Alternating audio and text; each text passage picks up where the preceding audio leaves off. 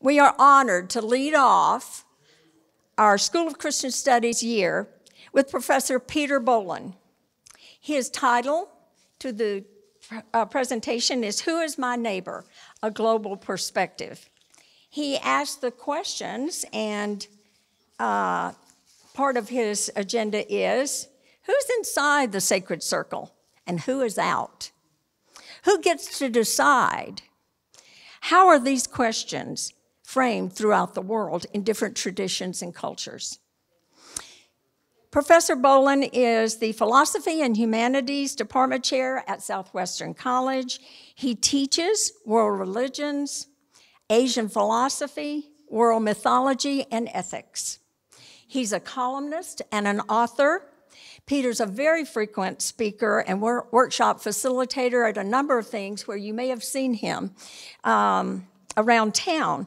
Um, for example, San Diego Oasis, the um, Osher Institute of Lifelong Learning at SDSU, Chopra Center, and the San Diego Vedanta Monastery. We now welcome Professor Peter Bolland. You're- Thank you. Thank you so much, and good morning, everyone. Oh, here's your mask. You might want that.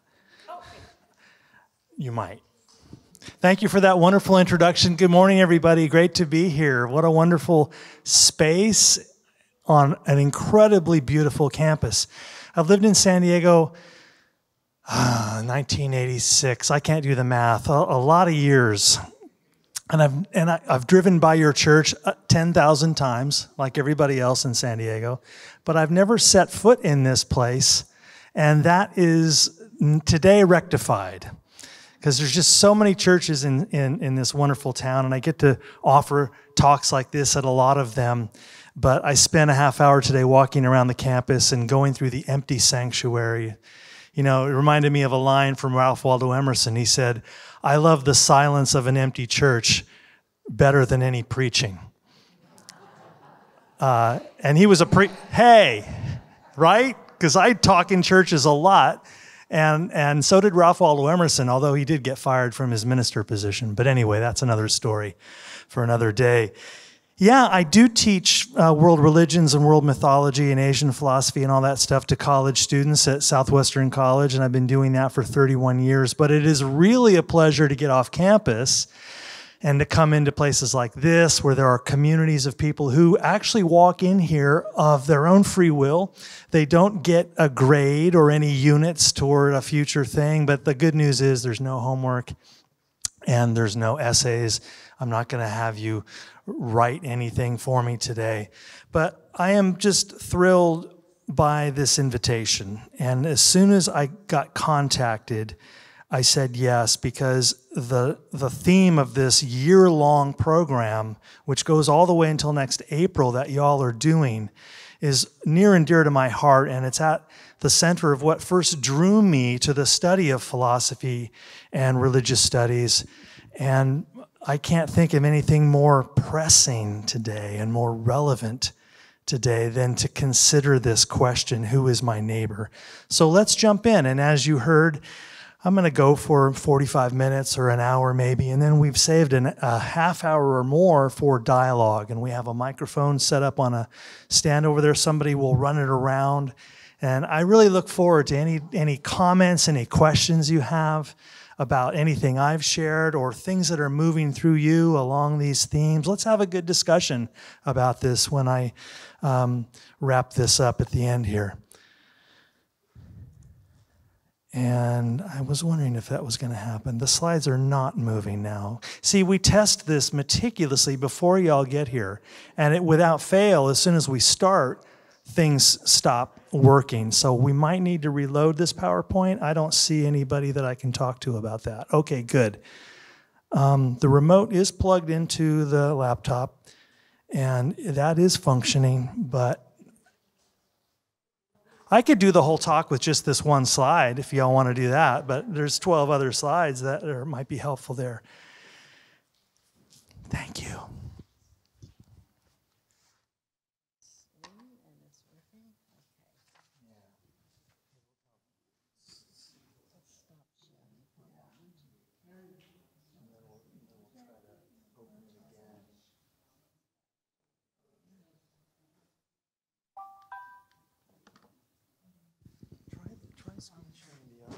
that might not be, that might not be the program. Try that one there, and then we'll go to, then we'll go to um, slideshow.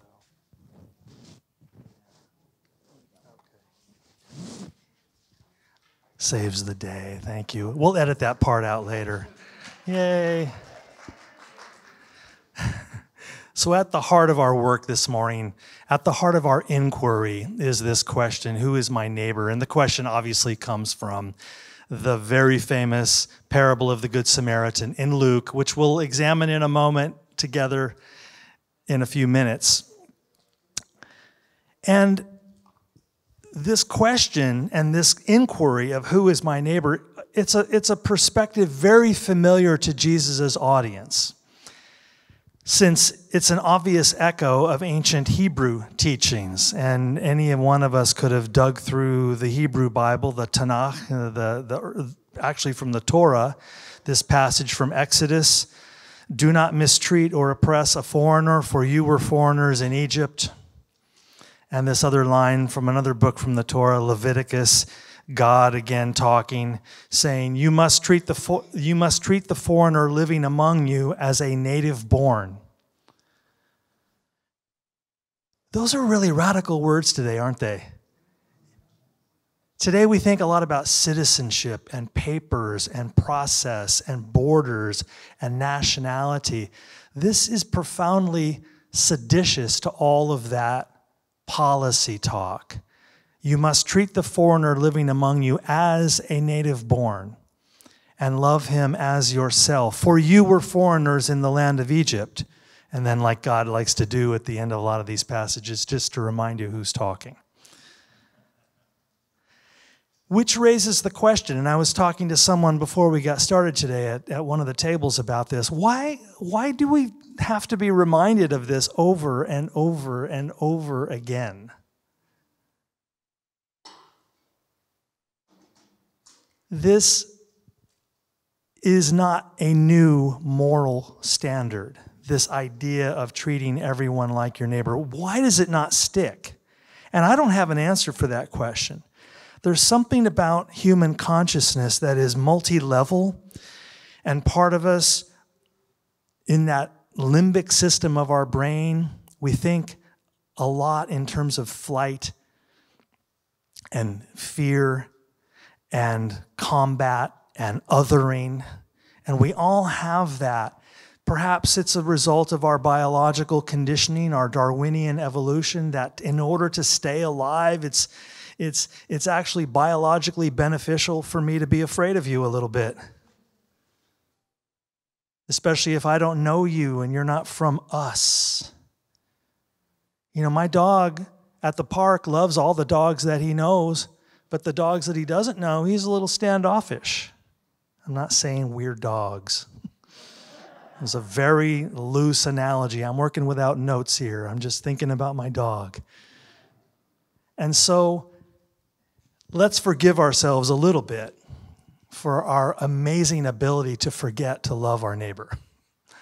However, we gather in conscious communities like this churches and ashrams and mosques and synagogues to remember. To remember our authentic connection with one another. And now I'm thinking a little bit about the news. And I know you watch the news too. And this guy's in the news a lot lately. This is the governor of Florida, of course, Governor Ron DeSantis. Now, some of you might be getting nervous right now. Oh my God, he's going to start talking about politics. And I want to take that up today a little bit too. Our fear of discussing policy and practice because we've been trained our whole lives, right? In polite society, you don't talk about religion and you don't talk about politics, which is hard for me because those are the two things I'm really excited about. But I'm not here to pick on any particular leader or any particular party. I just want to remind you of what you've probably all been reading in the news the last few weeks and this is an ongoing red hot story. If I ever do this presentation again, I'll have to get rid of this slide and put some new guy in there. Yeah, or woman or whatever. So we all know that the governor of Florida, Ron DeSantis, for some reason got involved in some immigrants that had come into Texas and contacted some of his friends and scraped together $615,000 to charter two private jets to load 48 Venezuelan refugees onto these two charter jets and then they gave these refugees a packet of paperwork that told them they were going to go to some other city, Chicago or something, and there were going to be services there. For Instead, they dumped them on a tiny island off the coast of Massachusetts called Martha's Vineyard, which is where, by the way, Barack and Michelle Obama have a summer home. And there's a little bit of a whiff of that, of like, let's own the libs by sending these refugees to their little private island at a cost of $12,815 per refugee. So, just from a pure conservative fiscal basis, this is some bad travel planning. And by the way, he's not alone. We know that the governor of Texas, Greg Abbott, and the governor of Arizona, Doug Ducey, other, two other Republican governors, have also done this same thing loaded up planes of refugees, of immigrants, and sent them off to Chicago and New York. I believe it was Greg Abbott or Ducey. I can't keep it straight. I, I pay as much attention as I can bear. but one of them sent a, a batch of refugees to Vice President Kamala Harris's house in Washington, D.C. And so this is a kind of political stunt, isn't it? It's a kind of let's send them to these democratic strongholds. And where might such an idea have come from, you might ask? Well, in July of this summer, Fox News personality Tucker Carlson planted the seed. He suggested the idea as an ironic aside. He's like, you know, we should just put these people on planes and, and, and ship them off to these democratic places. And so there's a curious, and we're all watching this, right? There's a curious feedback loop between certain media voices and certain political leaders. And this happens on the left as well, of course. But we're thinking today about refugees and about those who are outside trying to get inside. And so what happened next, of course, was rather I don't know. This is, this is the reason I'm taking you through all this story, is because what happened next. When those Venezuelan refugees landed at Martha's Vineyard, which, by the way, as you probably know, is a tiny little place, mostly summer homes. So, in the, so by the time we get to this time of year, it's largely empty. There's like 2,000 people that live on this island. It's like sending them to Catalina or something like that. So, what happened was the Episcopalian church there on Martha's Vineyard and other church groups and some government agencies met the refugees. They called the high school, they got all the AP Spanish high school students over to do the translation. They set up tables, they started feeding everybody, they started clothing everybody, and they brought medical assistance as well and they set up, you know, they emptied out a building at their church, a building, a room like this, and set up cots and built a shelter. And the, the, refugees were only there for two days before they were moved to the mainland to an Air Force base. The governor of Massachusetts took over. But it, in a way, as a political stunt, kind of backfired because then we suddenly have this contrast. And I am the last person who wants to start pontificating about who the true Christians are. You're not going to hear me do that today because that's a dangerous ground. So we'll just sort of present what happened and leave the question hanging. Who of all these various groups best embodied Jesus' question or Jesus' response to the question, who is my, who is my neighbor? Now, as I mentioned a moment ago, and here's a photograph of the, these Venezuelan re- refugees on one side of the table, and the folks of Martha's Vineyard on the other side helping them out, opening their homes, not wondering where that where the money was going to come from, because it's a tiny church on Martha's Vineyard, and it's pretty scary to have 50 people show up, and you're like, how how how are we going to pay for all this? Well, you know how it works the parable of the loaves and fishes, right? GoFundMe campaigns appeared out of nowhere, and people all over the country began sending money to this church in Martha's Vineyard. It ended up being profitable for them. They're set for the rest of the year now. So I want to think with you about something that I know is on your minds if you are members of this church community, because this church community walks the walk also, as do many other church communities in this city of ours, of daring to step into arenas that some churches are afraid to step into. Look, I, I have absolute sympathy for every church leader who is agonizing about this question today How much can I talk about politics from the pulpit? And you're kind of legally prohibited from talking about it too much. And yet, aren't there moments when it seems like that's exactly what needs to happen? So, churches everywhere struggle with the challenge of keeping religion and politics separate for all of the obvious reasons. And I'll state a couple of those obvious reasons. Maybe they're not that obvious if you don't think about it a lot, like, like I do and others do. Um, let's start at a very basic level. You don't want to alienate half your con- congregation. Church is already struggling to grow. Churches, church communities are already aging out. And many church communities, as we know, are shrinking. So the last thing you want to do is get up on the, on, on the pulpit in the big room next door on Sunday and start railing about this candidate or even mentioning the name Ron DeSantis. Because there are going to be people in the room who have great sympathies for him. As you may know, if you watch politics, he is a very likely leading Republican nominee for the President of the United States. If the former twice impeached guy can't somehow claw his way back in. So who knows? You know, maybe this isn't the time to go on a campaign against Ron DeSantis from the pulpit of a church.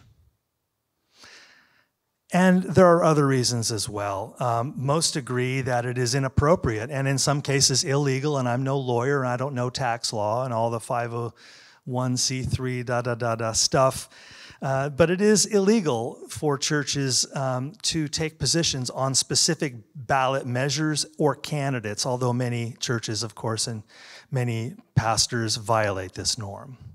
And they tell their congregation to go vote for this person or to go vote against that proposition. But you can see how impossible this is because our politics are where we manifest our values. Are not our politics, our policies, and our institutions of governance a manifestation of our values? And are not our values shaped by our morals? And are not our morals informed by our religious experience and faith convictions? So I see this unbreakable link between what I experience from God's grace in my meditation and my prayer, in my own moral conscience. I see an unbreakable link between that and how I vote.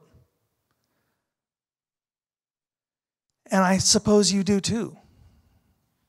And so it's uncomfortable at best when we gather in religious communities to have this taboo against talking about the very mechanisms that enact our morals and our values. I don't know how to fix this, but this is the tension that I feel and that a lot of us feel around all of these issues. And so, for these reasons, I, I'm trying to argue for the claim that it is precisely the purview of religion and religious leaders to take positions on fundamental questions of how we treat one another and let the chips fall where they may. Did the Reverend, yeah, okay, you can clap for that if you want. Does Reverend Warnock stay neutral when he went to the Senate? His former career was preaching in MLK's old church in Atlanta, right? Was Dr. King neutral? Go back and read the Reverend Dr. Martin Luther King's letter from a Birmingham jail, where he says the biggest problem preventing us from finally creating social justice is the white moderate liberal, liberal who stays silent. I mean, he names names. Silence is complicity. And so now, with all of that modern angst in the air in this room right now, let's turn to some of these ancient principles as they appear in the Western traditions and in other traditions as well. And finally, uh, you know, sometimes it is necessary for religious leaders to humbly but clearly rebuke the wrongdoer.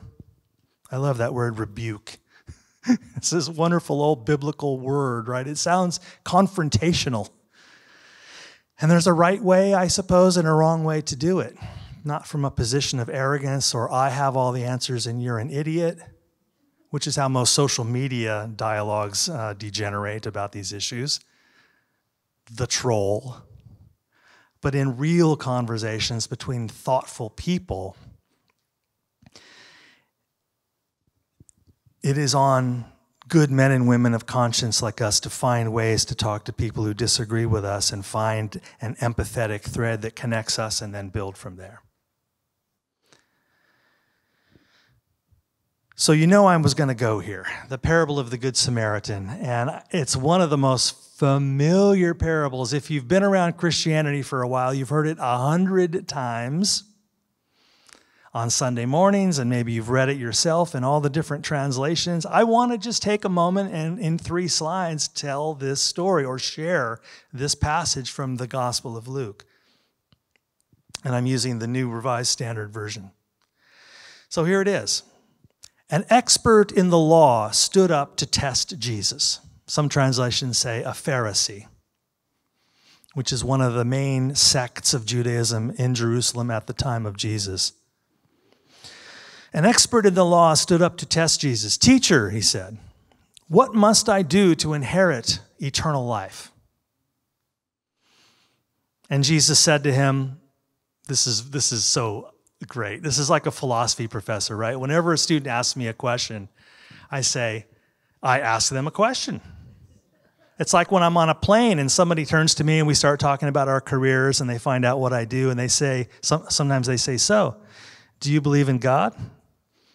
I'm like, Oh, here we go. And I say, What do you mean by God? See? And now, all the way to London, we actually have a conversation about interesting things because I need to know what definition of, of God are you asking me to thumbs up, thumbs down? It's an interesting question, obviously. So, anyway, Jesus says to this guy, What does the book say? And he means, of course, the Torah. And so, this expert in the law, and by the way, whenever you see the word law, in the Gospels, you know that it is a strange way of translating the word Torah, which is the first five books of the Bible. So, what does it say in Genesis, Exodus, Leviticus, Deuteronomy, and Numbers?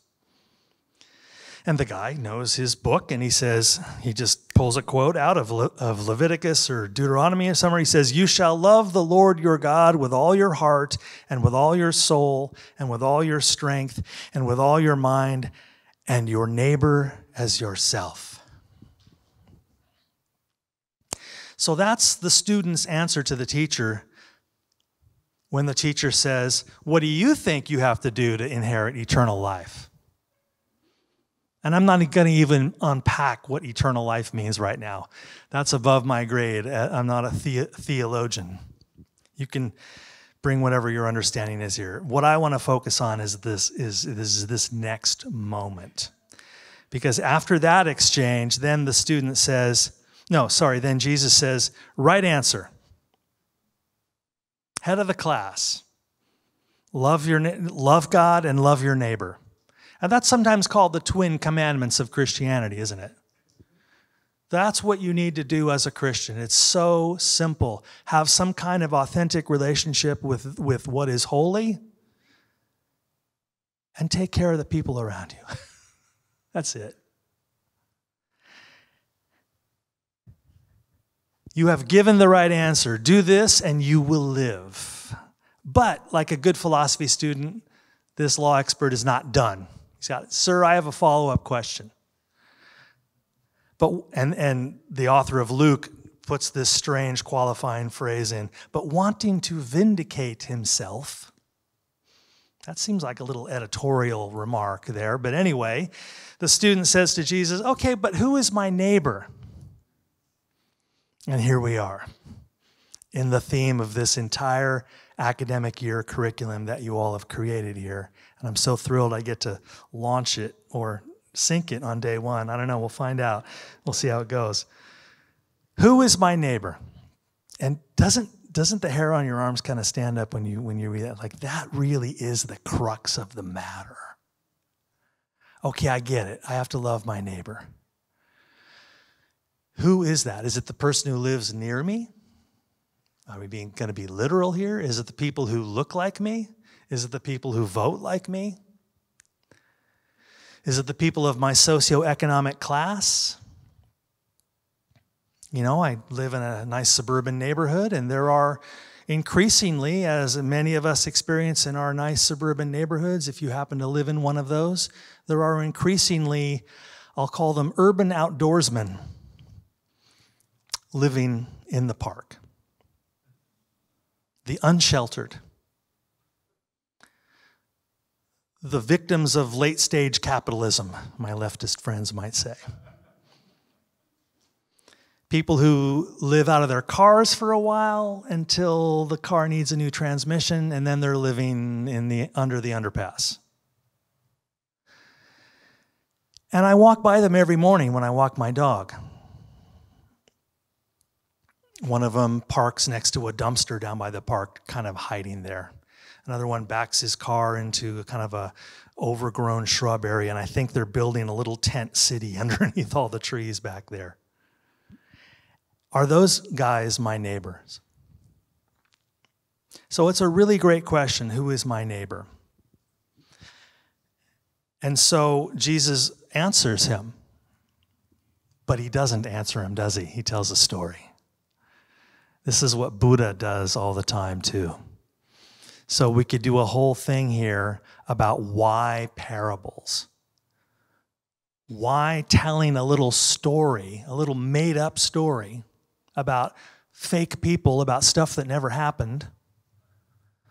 Why painting a little narrative picture for the guy? Why that is so potent and conducive to transformation. Because Jesus just could have easily turned to him and said, Everybody's your neighbor. Move on. But he didn't do that, did he? He engaged the student's imagination and took the time, and it was only a minute or two, to create some kind of symbiosis, a kind of interchange of consciousness through the time that it takes to draw someone into a story. So Jesus tells this story. A man was going down from Jerusalem to Jericho, footnote very dangerous road. A road beset by thieves. It was hard to get down this road and not get beaten and robbed. Everyone in the audience knows that. We don't have that context, so it's probably worth inserting. Jesus replied, A man was going down from Jerusalem to Jericho and fell into the hands of robbers who stripped him, beat him, and took off, leaving him half dead. Now, by chance, a priest, a Sadducee, you know, someone who was involved in the liturgical life of the temple in Jerusalem, a religious officiant, an expert in religion, a theologian, if you will. Now, by chance, a priest was going down that road, but when he saw the beaten man dying, he went to the other side of the road to go around him, kind of like I do with those homeless guys in the park. I don't go up to them and say, "Hey, how you doing? I'm Peter Bolland. I live a couple doors down. Come on and have a swim in the pool." I don't know why I do, don't do that, but I kind of do know why I don't do that, but I don't do that. So I, I don't want to paint this priest as the villain of the story. It's a very human response. Many of us would do exactly that. And it's a little bit like a joke, right? A priest, a rabbi, and an imam walk into a bar. That's that three part thing you do in storytelling. So Jesus is like, a priest, a Levite, and a Samaritan. We're walking down a road. It's the same structure, isn't it, in this story? Jesus knows how to tell a parable. And so the second guy, so likewise a Levite, when he came to the place and saw him, passed by on the other side. But a Samaritan, while traveling, came upon him, and when he saw him, he was moved with compassion. And I know a lot of you being educated, being connected to Christianity, maybe most of you, I, am assuming, are well aware of this context and who the Samaritans are. And the Samaritans have been warring with the Hebrews. These are two distinct groups with great animosity. In fact, the Hebrews had recently burned down a Samaritan temple nearby.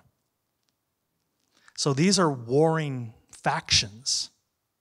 And everybody in this audience where Jesus is talking, who are Hebrews, when they hear the word Samaritan, their hackles are going to come up a little bit. It's like saying Nazis or something, right? But who's the good guy in this story? Yeah, the Samaritan. The Samaritan came along and had compassion. And Jesus said, The Samaritan went to him and bandaged his wounds, treating them with very expensive oil and wine. Then he put him on his own animal, presumably walking alongside, and brought him to an inn and took care of him. And then, presumably overnight from the context here, the next day he took out two denarii. Let's modernize that. The next day he took out his visa and he told the concierge, run this card and take care of this guy. And when I come back, I'll repay you uh, whatever more you spend. And then Jesus asks the philosophical question to the expert of the law Which of these three, the priest, the Levite, or the Samaritan, was a neighbor to the man who fell into the hands of the robbers? It's a rhetorical question, isn't it? Is there any possible answer? I mean, talk about being led by the nose to a foregone conclusion. And the guy's no dummy. He says, The one who showed mercy. That's the one who treated the stranger like a neighbor. So Jesus simply says, Go and do likewise. The end. Jesus does not give a long, learned theological or philosophical explanation. There's no metaphysics here, there's no epistemology. It's it's almost as if Jesus is pointing this student to a self evident conclusion that a child would understand. And yet, that takes me back to the question I posed earlier why do we have to be reminded of this over? And as soon as we see it, we're like, yeah, that's it. That's exactly it. Go and do like likewise. So, with that in mind now from the Abrahamic traditions, I want to think with you a little further about that story and, and, and take it through a couple of other different traditions. I, I would love very much to come in here and talk about who is my neighbor from the perspective of every, every religion, every philosophy, and every culture. But I think a few examples will suffice to demonstrate the absolute universality of this ethos of care for the stranger.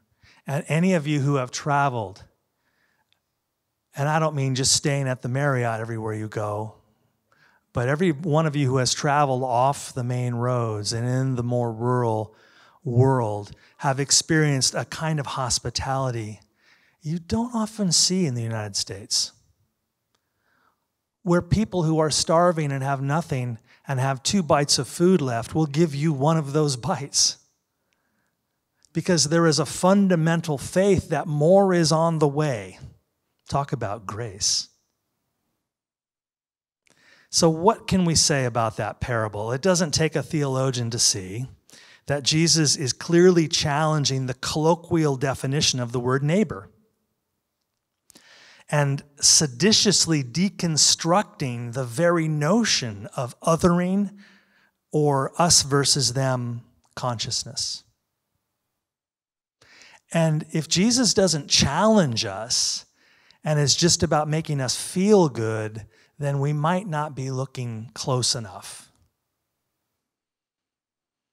That it isn't just for comfort that we come to religion, we come to be changed. Metanoia, right? Which is sometimes translated as to be reborn, but it really means new thinking. Just a new set of ideas, a new mind, new understandings. And this story is a story about metanoia, isn't it? It's a story about thinking about the stranger differently. And it seems to me that the parable of the Good Samaritan establishes hospitality as the core Christian virtue. One of my Christian friends puts it this way you know, he's a little disappointed that for many Christians, Christianity is a little more than an afterlife reservation system. Ouch. An afterlife reservation system. As long as I get to heaven, thank you, Jesus. But stories like this suggest, although the word eternal life was packed in the beginning of the story, so there's a little bit of a thread there, but especially among his Jewish audience, and a lot of you know this about the evolution of Judaism, in the time of Jesus, there wasn't really much of a doctrine of afterlife in Judaism. That comes a little bit later and really takes form later. But that in, in, in much of Jewish thought, it is in the here and now that we live in the kingdom of God by the way that we treat one another. We'll let the afterlife take care of the afterlife. And so, what if that's the most important thing about being Christian is practicing hospitality? Not right beliefs, but right action.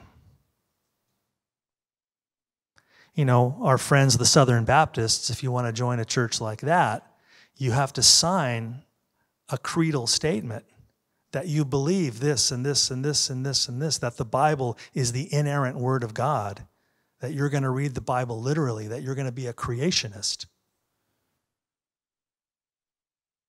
It's different in the Methodist community, I know, and in many other Christian communities. But what does it take to be a real Christian? Do you have to believe X, Y, and Z?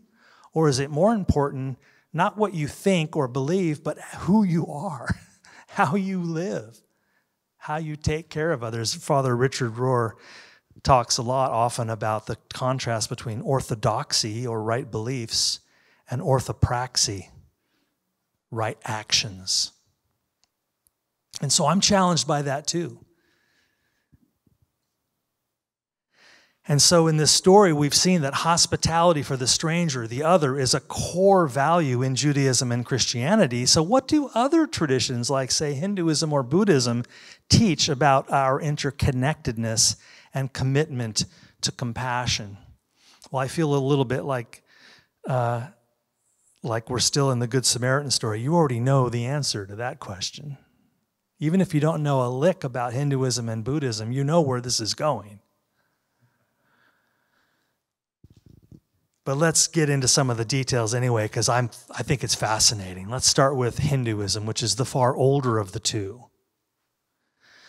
So, what is Hinduism? Hinduism is, of course, the religion of ancient India, and it's big and it's complicated. It's really the word Hinduism is an umbrella term uh, under which exist dozens of different darshanas or schools of thought. It's like it's like Christianity, right? And then there's a thousand different denominations of Christianity underneath that umbrella term. So it's a little bit hard to summarize too quickly about what Hindus believe and what they think and what they do, but we can try.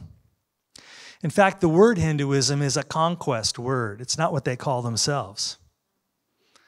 The word Hindu comes from a Persian mispronunciation of the Sindhu River, which was the name of the river in modern day Pakistan that they came upon. And they called the language that, the river that, the people that, and the religion that, and it became Hindu, Hinduism. What do people in India call their own wisdom traditions? They call them the Sanatana Dharma, the Sanatana Dharma, and I'll try to translate that. That's Sanskrit. Um, it's usually translated as the birthless, eternal truth. pretty, pretty big idea, right? Dharma means uh, a lot of things. It kind of means the same thing as, as the, the logos, you know, the order, the structure, the pattern, and also our, our moral obligations. So the Dharma means the truth of reality, and Sanatana means unborn.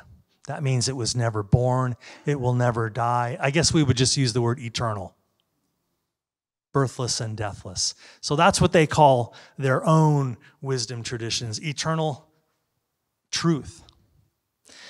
And there are a number of texts that come out of ancient India. The, first of all, the Vedas, and they go back um, 2000 BC. Some in India say much earlier, but the earliest written form we find is, is around the time of Abraham. Abraham lived about 1800 BCE. And there were no biblical texts at that time. The Bible's going to get written much later than that. But in ancient India, they're already writing these texts called the Vedas. And that's where you read a lot about a bunch of different gods, kind of a polytheistic system. And then a little bit later, maybe 500 BC, again around the time of Plato and Socrates and Confucius and Lao Tzu and the Babylonian exile, around that time, a new set of texts called the Upanishads comes along and they shift the perspective. The Vedas were about, you know, let's figure out how to appease all of these gods out here. Here are all these prayers and, and petitions. But by the time we get to the Upanishads, the whole project of Hinduism had shifted. And the realization became that whatever the divine sacred cause of the universe is, is present within me. And that the best way to learn about divinity or ultimate reality is not to look out here, but to go within. Through meditation, through sacred service, through the various yogas, to realize that I am one with that holiness the same way Jesus talks to us in the Gospel of John, I believe, where he says, I am the vine and you are the branches. Or when Jesus says, when they ask him, Show us where the Father is, and he says, When you're looking at me, you're looking at the Father. I and the Father are one. And I am the vine and you are the branches, and you and I are one. That's almost a kind of non dualistic Hindu perspective, and it's, it's quite startling when you run across it in the, in the Hebrew and Christian scriptures. Then a little bit later, there's a, a third book called the Bhagavad Gita, and these are the three main scriptures of Hinduism. The Bhagavad Gita, written around the time of Christ, and this is the famous story of, of uh, Krishna, who is the Jesus of Hinduism, or should I say, one of the many Jesuses of Hinduism. In Hinduism, Lord Vishnu sends forth avatars or incarnations many, many times Rama, Buddha, Krishna.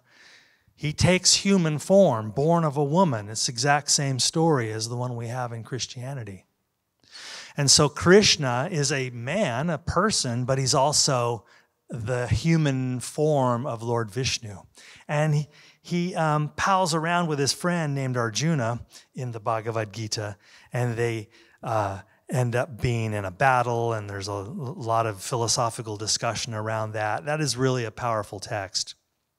So, out of those sources come this complex, interconnected web of philosophical and religious perspectives and practices known in the West as Hinduism. And at the heart of Vedanta, and again, Vedanta is, is the philosophy of the Upanishads, that business about all is one. At the heart of that is the idea of monism, or, if you will, non duality. Namely, the idea that all matter, all energy, and all consciousness emerges from a single underlying ground of being called Brahman and remains interconnected, remains identical with it. Everything you see, everything you experience, feel, taste, touch, know, is an aspect of Brahman here in the field of time. The image is often used of an ocean. It's as if you and I are all waves on the surface of the sea. And I'm rising up over here, and you're rising up over there, and you're rising up over there. And we all think that we're separate from one another. But what's really happening is we are all just the ocean waving. And we forget our fundamental connectedness, interconnectedness, because we fall asleep because we've been embodied in these separate meat sacks. And they all look a little different, and we talk different and think different. So, according to Buddhism, which we'll get to next, we've all kind of fallen asleep into an illusion of separateness. And that's just really how it feels. So, our own subjective experience affirms the dream that we need to awaken from to come into the embodied realization of our oneness. So that Brahman idea is sometimes written as Brahman Atman. And Brahman then is again the formless sacred ground of all forms, the ground of being. And Atman is the same thing as Brahman. I'm sorry, there's two words for the same thing. Are you with me still? Atman is simply the presence of Brahman within sentient beings. And the Atman was never born and it will never die. It's eternal. Arjuna tells Krishna in the Bhagavad Gita there has never been a time when you did not exist, nor will there ever be a time when you cease to exist. Now, when Krishna says that to us, he doesn't mean this Peter Bolland guy is eternal, but the Atman within is birthless and deathless. And to have my identity there to put my to have my being there as paul tries to struggle to explain god to that athenian crowd in the acts of the apostles. And he quotes some greek poetry and he says you know god is is is where we live god is not this thing up here god is where we live it's where we breathe it's where we have our being It's the water. If, if we were fish in, in an aquarium, God would be the water, according to Paul. And so that's a kind of non dualistic way, a kind of Hindu way of talking about ultimate reality, that each of us is the presence of Brahman Atman. And this is the metaphysical foundation of everything else in Hinduism.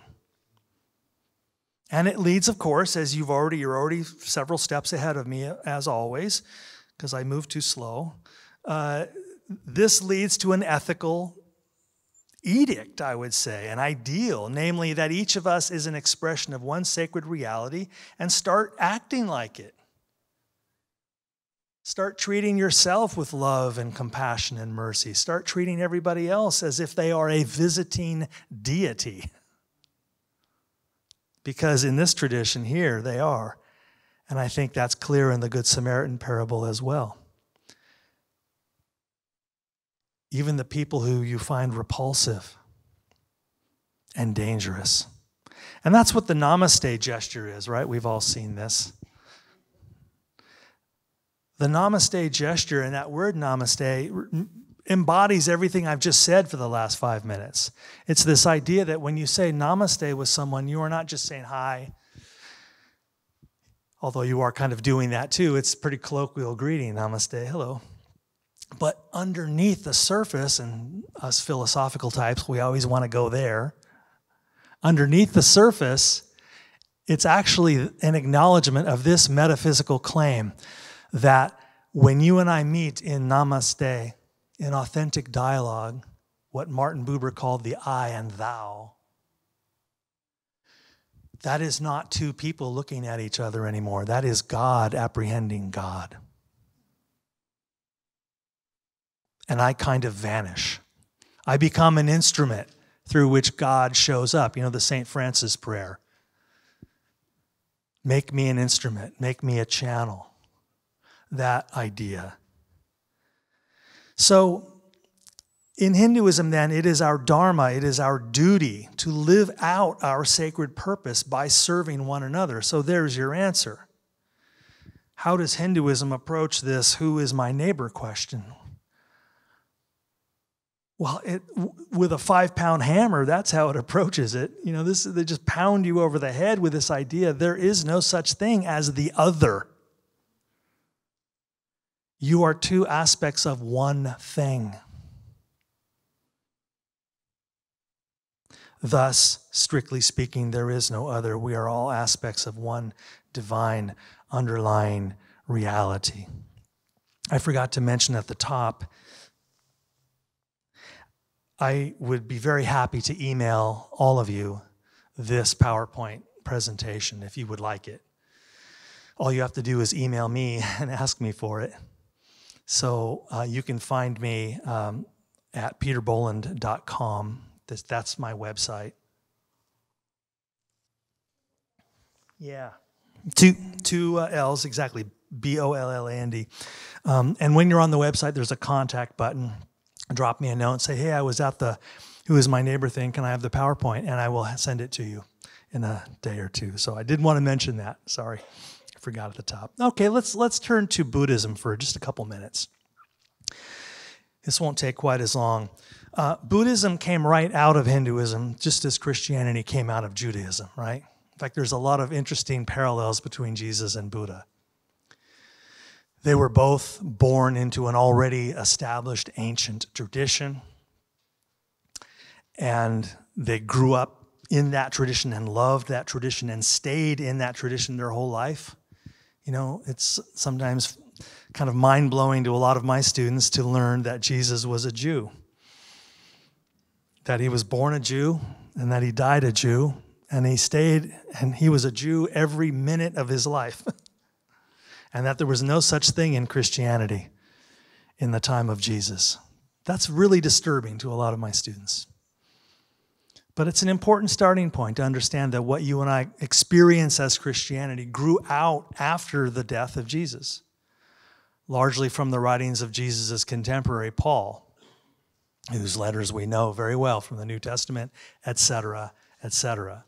Same dynamic here. Siddhartha Gautama born into the Hindu tradition, thousands of years old, grew up in it, educated in it, um, although 500 years earlier than Jesus. And he comes to be known because he has some transformational experiences. He becomes enlightened. So he becomes known by this nickname, the Buddha. And in Sanskrit, Bud means to awaken. So Buddha literally means the guy who woke up, the awakened one. And I, for our purposes today, thinking about this question of who is my neighbor, I think what's fascinating about Buddhism is that it takes all of that Hindu metaphysics that I just took you through, Brahman, Atman, and all that stuff, and it takes it to a kind of deeply psychological and practical level, like a real world level. Like, what does this look like if you really live like that? And Buddhist teachings begin with the acknowledgement of the impermanence of all forms again, not new to any student of religion or philosophy. The idea that all forms arise and all forms fade. And by form, we mean not just material things like this wooden lectern or my body, but ideas are forms. Political philosophies are forms. The United States of America is a form. It's existed for 240 something years. I don't know how much longer it's going to exist. I have no idea. One more year? 400 more years? Who knows? But we know it's not eternal. As students of history, every empire comes and goes. Sometimes it takes 600 years, sometimes they last 200 years. I don't know how long we have. But to assume that the United States of America is a, is a marble, eternal entity is naive. It could end. This experiment could end. And that's what drives all of us to, you know, read the news a little more carefully. So all forms are impermanent, as unpleasant as that is to say yes to. Uh, and the interdependence of all phenomena. That's another key point that Buddhist philosophy hammers on that all things arise interconnectedly and interdependently. Nothing is the single cause of something else. A phenomenon usually has a thousand mothers.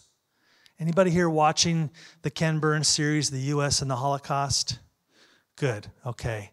If you haven't, go to the go to the PBS website and watch that. It's a fascinating and very difficult to watch. I've only made it through an episode and a half, and it's four episodes, four two-hour episodes. It's really hard to understand, and I want to use that as an example of Buddhist interdependence. And the um, the point that Ken Burns and the other producers make is that the Holocaust, and I, this is challenging because I've been thinking this way my whole life. The Holocaust is Hitler's fault. Or maybe Hitler and the other people who ran the Third Reich, they did it. But what Ken Burns shows is that who we were as Americans in the 20th century gave birth to Hitler. When we read Mein Kampf, we read there how he was really excited about the pseudoscience of eugenics, which came out of Britain and really caught fire here in the United States. People like Teddy Roosevelt, Margaret Sanger, who founded Planned Parenthood, a lot of leading thinkers believed in eugenics, which was, again, the quack theory that some physiology, some people of some physiologies are superior to other people of other physiologies. It's kind of a fancy word for white supremacy. And that began because it became so normal in America to, to believe in eugenics. It got woven into our immigration policy, starting with the Chinese Exclusion Act and all of the other restrictions on immigration. Ron DeSantis' Italian family arrived here before that. When immigrating to America meant just getting off a boat and walking on to America. There were no immigration policies or processes, passports. And Adolf Hitler writes in Mein Kampf how thrilled he is by the American commitment to anti Semitism, to eugenics, and to white supremacy. And he, you know what he especially admired about America? Was the way we got rid of the Native Americans. Drove them out of their lands, slaughtered them, and the few left that were alive, caged. And Adolf Hitler writes in Mein Kampf, said that was unpleasant but necessary. And I, it, it, it pains me to say this that we taught Hitler how to Holocaust. This is what certain voices on the right don't want you to know because it's hard. They don't want our children to be educated about these things because it makes America look bad. But I don't know, I have a different reaction. I think of it in this Buddhist sense that, as Abraham Joshua Heschel puts it, not all are guilty, but all are responsible. None of us alive today created these systems of oppression, but people who look like me benefit from them. As a tall, straight, white male, native English speaker, every room I've ever walked into my whole life, I had a head start over every woman in the room, over every person of color over every person who had a native language different than mine. So I didn't earn any of that. It's just the structures that we were all born into. Buddhism has a really sophisticated metaphysical explanation for this that the world that we live in was created by many, many, many elements and forces and voices, and it's impossible to trace it back and blame it on that guy. But what's exciting to me is once I become aware of these things, I know a little bit better what to do next. And who are we going forward is the more fascinating question, isn't it? Than all the junk that we've done. But until one tells the truth, there can be no reconciliation. A lot of people want to jump right to the reconciliation oh, stop talking about that stuff. Let's just all get along. But as South Africa tried to undo apartheid, they did it right. They spent years talking, telling the truth first. Just like in our own journey to forgiveness for the sins we've committed, it starts with just telling the truth, owning it. Only then can real healing begin. So, Buddhism has an interesting take on all of that. But once you understand the interconnectedness, the logical conclusion is karuna or compassion you realize that even your enemy is caught up in a system that they did not create. And they too are lost and scared and acting inappropriately. And so Buddhism teaches us to practice ahimsa, which is non harm, non violence, causing as little harm as possible, and also to practice right action in the way we work, in the way we talk, in the way we act and to take the Bodhisattva pledge. Buddha is a bodhisattva. There are many in Buddhism. Bodhi means illumination, sattva means being.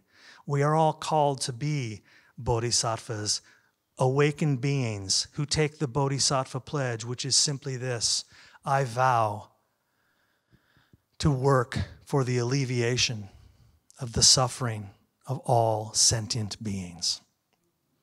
That's why I'm here. I work and I vow to help alleviate the suffering of all sentient beings. In Judaism, that's called tikkun olam in Hebrew, right? Tikkun olam means to heal the world.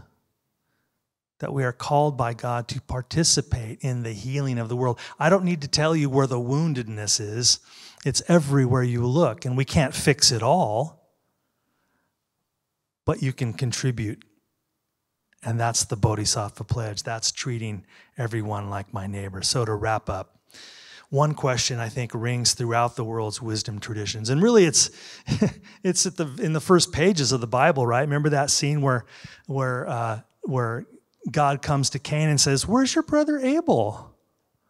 And Cain's like, like a sullen fifteen year old, you know. He says, "What am I, my brother's keeper?" So it starts right there with the Cain and Abel story. The meltdown begins, the competition for God, for, for the Father's love. So in all the world's major and minor religions and throughout world culture, the moral rectitude of hospitality is affirmed. I just want to anchor it to that one word, hospitality, because it's such a friendly, simple word, right? We all instantly know what it means. And I think we've learned through our long evolution as human beings that our fate as individuals is inextricably bound together with our fate as a community. And as the virtue of self and, and, and the virtue of self-sacrifice for the good of others is, is universally championed and celebrated. In all cultures. And the understanding that that what happens to me happens to you. That interdependence, that's wisdom. And we recognize that wisdom as well, wherever we go. The Dalai Lama kind of sums it up nicely that compassionate action is the ultimate form of self interest. Kind of closes the loop there. Because often in Western philosophy, you're, you're, you're either an altruist and you're sacrificing everything for, for the other, or you're an egotist and it's all for me. And that's a false binary. So I love what the Dalai Lama does. He takes that straight line and turns it into a circle. Actually, it's in your interest to take care of other people for a lot of reasons. So finally, I want to end with this idea and just back up even further. Let's talk about the word religion. It comes from the Latin and Greek word religio or religare, and it means to link back or to connect or to join together. So, why are we here?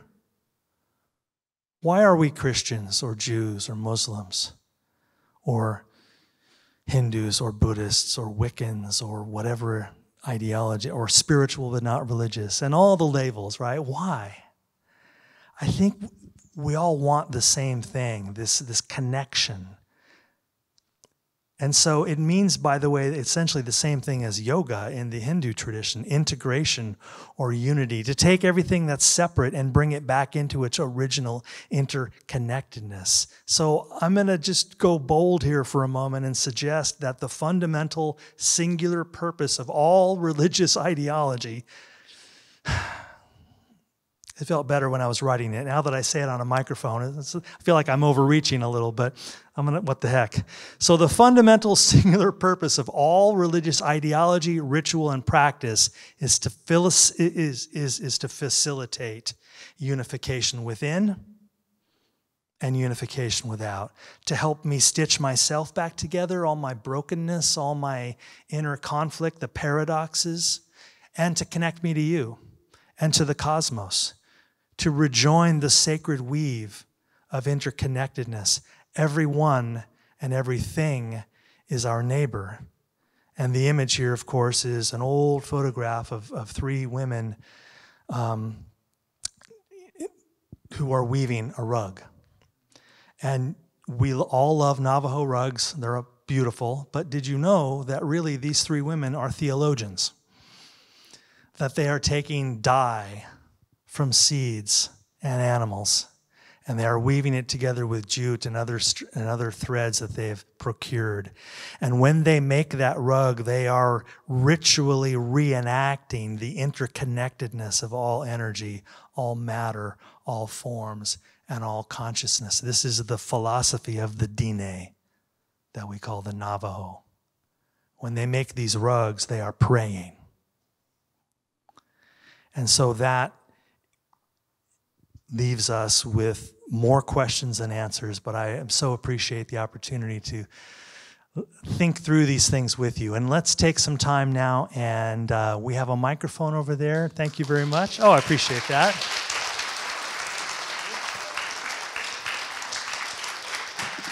Thank you.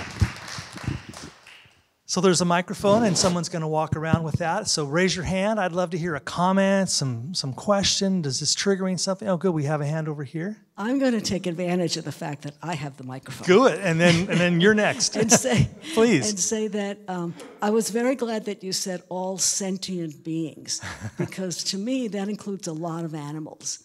I'm an animal lover, and I think that we don't recognize we are not smart enough to recognize the intelligence of many animals. Yeah. That's that's fair. And and and while you're walking the mic to the other person there, this is a this is an ethical decision all of us must discern for ourselves. There are there are vegans in the room. There are vegetarians, there are omnivores. And so all of us must in our own conscience and in our own life find the way that I can practice ahimsa. And ahimsa, or nonviolence, in, in Buddhist consciousness, is not an absolute. It is the recognition that the fact that I am alive, I am going to cause some harm. My life is going to result in the death of other life forms. Every day I put thousands of calories of food in this hole in the front of my face. I'm about to do it again. And all of that food is made of formerly living things plants, sometimes animals. It's how the energy of the sun gets embodied in plants and then it becomes part of my body. You know, I didn't invent this system, it's just how it works. But we can all decide how much harm we are willing to cause. You know, Gandhi, for example, was a vegetarian, but he said, I will never dogmatize about vegetarianism because harming other beings is necessary when we carve out an acre of forest to grow wheat to feed our village, we're going to kill all kinds of snakes and rabbits and bugs. And um, the Buddha also told his monks, you know, we are vegetarians, but we don't have jobs. We eat other people's food. we get to somebody's house, and if they feed us goat stew, Buddha said, just, just eat it. Your compassion now is for the host who sacrificed their money and their time to feed you. So I'm fascinated by those sort of gray areas, but I'm with you about how I love how Buddhism includes all sentient beings so that we take into account all conscious beings and not just uh, people. Yeah, please. Well, first of all, thank you for enlightening us. As always, very fascinating. Uh, I just want to go back to your first comment about religion. and you know, we have diff- different people on the spectrum. But what I tell my children is by their fruits you shall know them. I don't care what you label yourself, you call yourself a Christian, but if there's hate, racism, sexism, war, anything that has to do with violence, you're, you're not, you know, by your fruits you shall be known. And even Jesus says that. You know, when he said, uh, Get away from me, and the people say, But I preached in your name, I did this in your name. And he said, Where were you when I was hungry, thirsty, in prison, oppressed? He said, You weren't there. So he said, Get away from me. He said, Whatever you do to the least, you do to me. So that's part of the golden rule, too, to treat others the way you want to be treated. But, and the second comment I wanted to make, and last one, is when you talk about hospitality, I think you should mention the word compassion also, because hospitality seems not quite as deep as compassion. Just my. No, I love that. I'll start with that second one. You're absolutely right. Um, you can get hospitality at a hotel. You know, I don't think they uh, are caring for your soul necessarily. But so I absolutely agree with you. How about hospitality as a baseline? upon which we can build. Um, but to your first point, I, I think about that so much too. And, and, you know, there's that scene that to me is the most electrifying scene in the Gospels. And it's that, it's the night of Jesus's, well, it's Jesus's last night. And he's in that upstairs room with his disciples and they're having the Last Supper and they're probably not all sitting on the same side of the table like Da Vinci painted it, but I digress. But at the Last Supper, of course, y'all remember what happened. He, um, you know, this is my body, this is my blood, all that stuff. But after dinner, what does he do? He doesn't, you know, hey, well, let me make one long theological speech. He gets on, a, he, he gets a bucket and a towel, and he gets on his knees and he crawls around and he washes all of his disciples' feet. And he says a few things, and I'll paraphrase. He says, You know, in the future, people will know who my followers are by how well they love one another.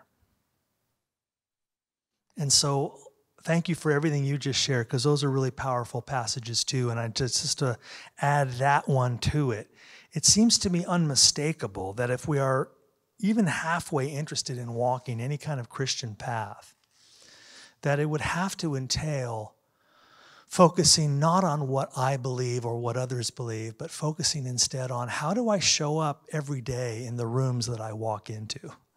How do I treat the other drivers on the road? How do I treat the, the, per, the person on the insurance helpline that finally answers my call after being on on hold for 45 minutes? How do I treat that person who's just working for crap wages in some phone bank? How do I treat her or him? And that's the test that we are always undergoing. And so those those can, those changes require discipline and surrender and optimism but the good news is when you start learning how to walk that way a little bit better, your own suffering begins to lift off of you because you're no longer in the business, the exhausting business of constantly judging everyone and everything you see and building hierarchies of who's better and who's not as good. That is exhausting. And so you're really, again, like the Dalai Lama said, compassionate action is the highest form of self interest. It starts just getting easier for me to be Peter Bolland if I can treat you better. Please. I'm curious about uh, the question that stimulates the story of the good of the neighbor, and it is he asks, "What must I do to inherit eternal life. Are there other religions that seek the same kind of question? um, or some, or what is it? What is the question that pushes them to understand what it means to be a good neighbor? Ah, that's really good. I, I have a lot of questions about that moment in the story too, and maybe there are others here who who are better Bible scholars than I am. I would love to know um, what that sentence really means in Greek, because the Gospels were written in Greek, right? What must I do in order to get eternal life?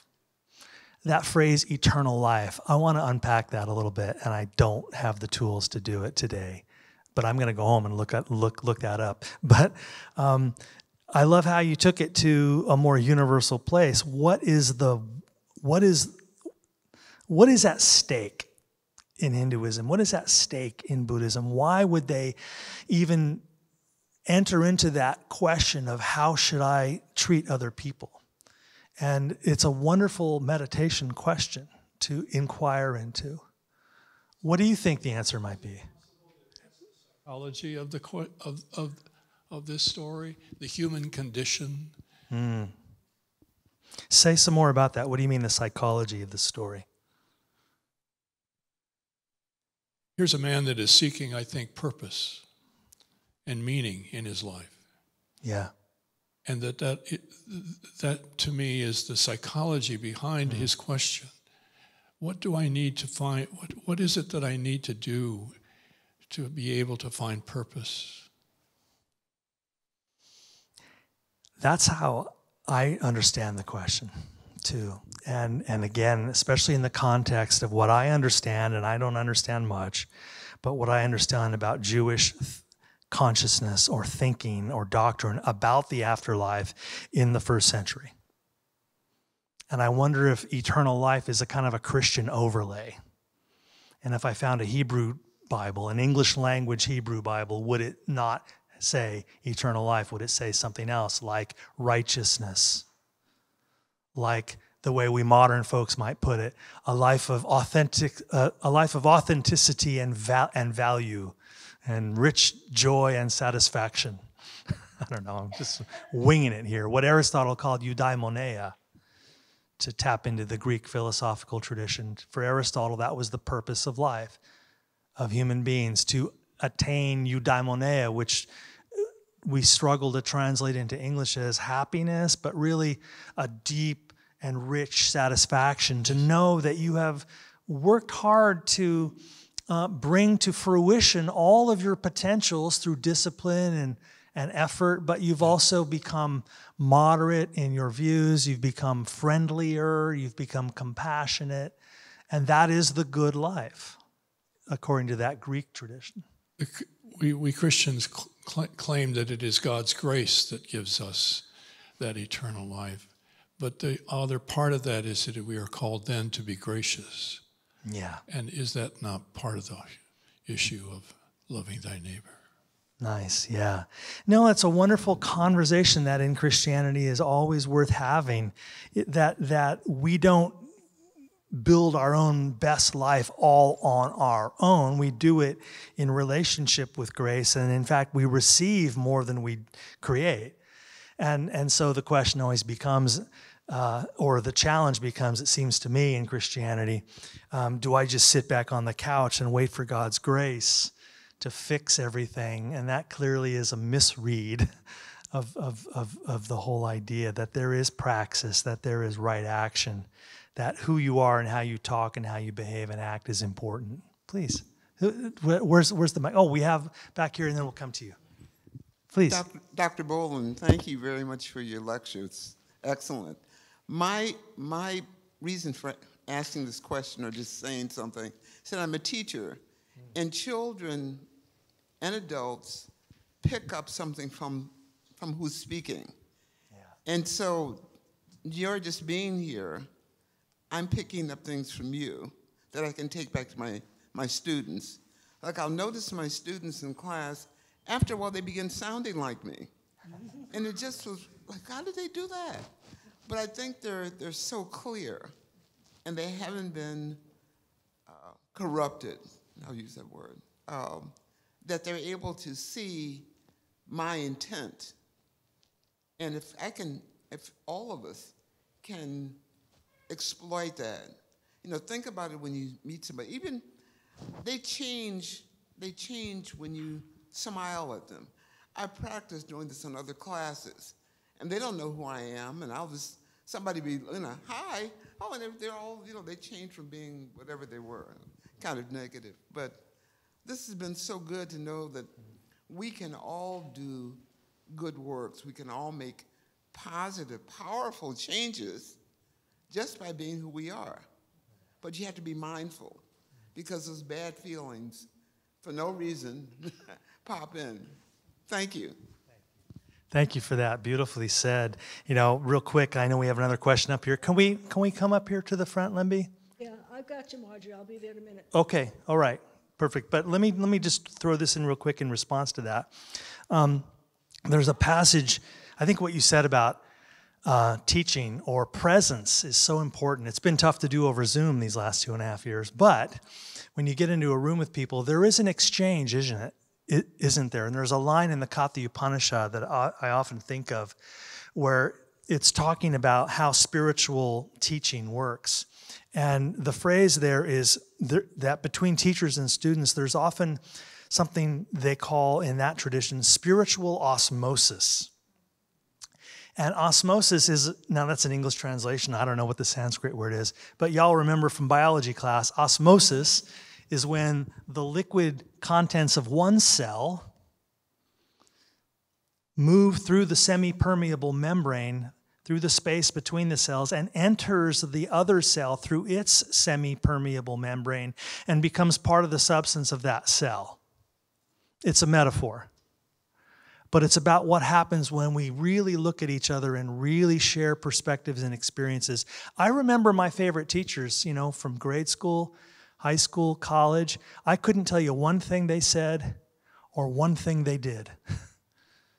but I remember how I felt when I was with them. That's that Maya uh, Angelou line that we all love, right? People will never remember what you said, they'll never remember what you did, but they will never forget the way that you made them feel. And is there something that moves between us wordlessly that is at the heart of real teaching? and real. Uh, so I, I, I, thank you for that observation. Back here, and then we'll come up here. Yeah, I, I have a theory. If you took a white person, a black person, an Asian person, and a Native American or a Native person globally, yeah. and you lined them all up, and you said, okay, which one would you want to be? And until you get to the point where it doesn't matter, it doesn't matter who, if I'm black, white, Asian, or a Native uh, inhabitant of a, of a country, it doesn't matter. So until you get to that point, or that you have a policy that is written that doesn't discriminate or cause discrimination against another person because they're different, you know, that's it, it isn't until you walk in that person's shoes that you understand what they're all about. And once you understand what they're all about, color doesn't make any difference at all. And so, uh, I mean, that's been my experience. If I get to know somebody, I don't see color or refer to them that way. So I hope someday in the future that will happen because we do. In, in the Holocaust thing, when I watched it, what was really outstanding to me was that nobody really thought that that was really happening because in your mind you think nobody could do that. Yeah. And until, until you see it full force and, the, and it hits you, then you, you really understand, oh my God, what was we were being told was correct. And that's the sad part, that it is really hard to wrap your mind around things yeah. that you just think couldn't happen. So I think that's what the, the film and the going on really was so impressive to me was yeah. that I think there was that feeling that it couldn't happen. This this is just some, something that's made up or exaggerated. And yeah. that's what's really kind of sad that we, we ignore things because we don't think. Yeah, it, it's hard to absorb. You know, I, I took away something a little different from the film, and that was how many Americans knew about it and didn't care. How many Americans were so deeply committed to anti Semitism that that's happening to those other people in other place. It was the Holocaust was pretty well published in American press. And, and so this old idea that nobody knew, um, that, that idea is one of the things that's kind of falling apart. Um, there's a reason they sandblasted Charles Lin, Lindbergh's portrait off that building down there at the airport, right? Yeah. Um, he got canceled Yeah. uh, because he was a virulent anti Semitist, along with his friend Hen- Henry Ford, who was another favorite of Hitler, right? Ford was a virulent anti Semite. He blamed the Jews for everything. I've, I've, I've had a lot of Fords in my life, I've enjoyed them. But um, there, were, there was something in the water in the United States in the mid 20th century that made it possible for that to go, the Holocaust to go much further than it did. But, but I know what you mean about it, it's just too horrible to conceive, so that can't be happening. That's part of the dynamic too. Please. I have um, two comments. Yeah. One, and- one, yeah, this will be our last no, question. Margie will be Yeah, okay. These two.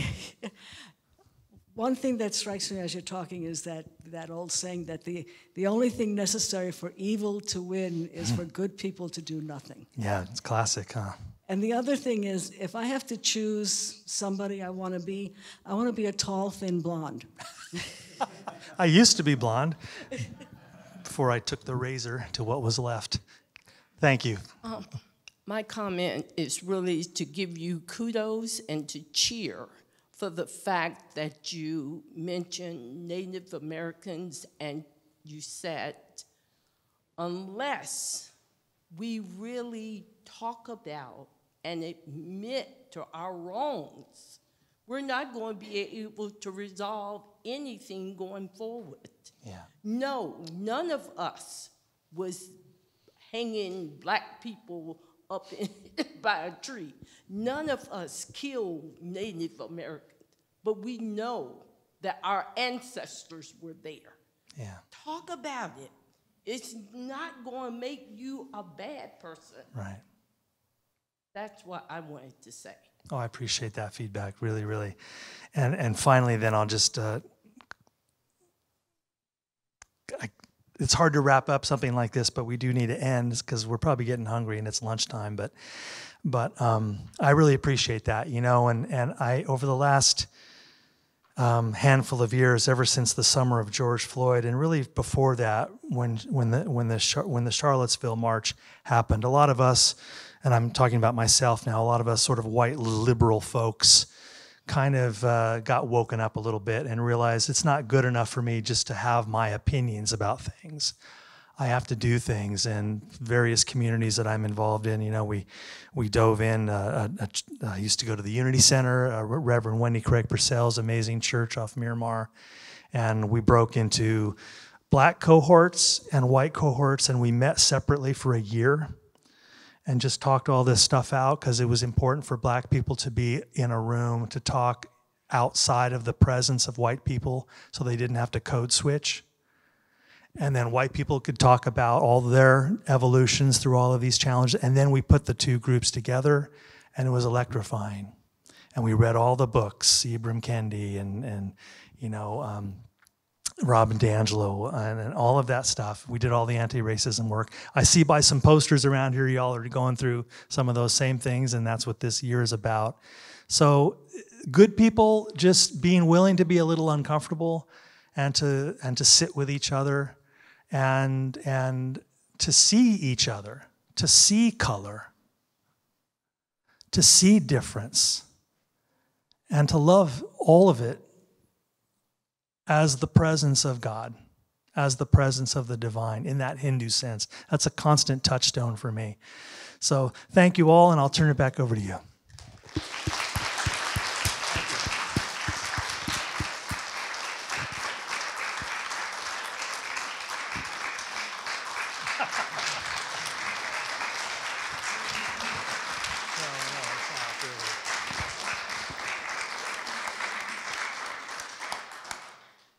I have never said what I'm about to say in, an, in any lecture I've ever been to before, but you honestly gave me goosebumps.